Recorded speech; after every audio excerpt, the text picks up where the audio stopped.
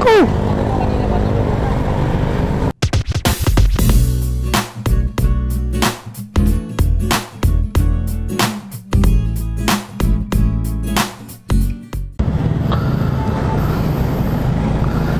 Yo, what's up mga kapatid? So, yun na nga, pauwi na tayo. Meron pa tayong namatahan dito ng aksidente. Ayan, no? Tako! Ah, mga gulay. May karga ng gulay.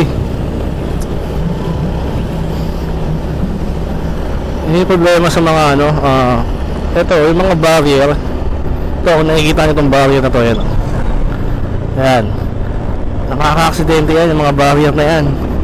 Naubos na nga lang yan dahil lagi nabubunggo ng uh, ang buwan naman ano dyan, mga taxi. Sila yung lagi nabubunggo dyan kasi Siyempre hindi na tatanong ang mga taxi driver natin, di ba? Halos lahat yan puro mga matatanda na. Karamihan nga dyan, mga senior eh. Parang yun yung pinaka-retirement job nila. Kaya kadalasan sila yung uh, nabibiktima ng uh, mga barrier. Kasi inaantok na yung mga yan eh. Mga may edad na.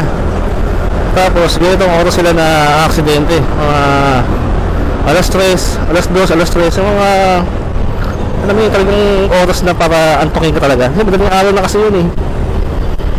Kaya delikado talaga. Eh, mga barrier na yan. Oh. Ayan, kung nakikita nyo yan, kulay dilaw, black and yellow. So, dapat talaga pag ganitong oras mga kapatid, lalo na sa mga mga tropa natin ang mga taxi driver. Sana ang konting uh, ingat tayo sa pagmamaneho lalo na paggabi kasi pag ganitong oras ang biyahe natin medyo maluwag na, dire-diretso. Kaya nakakaantok.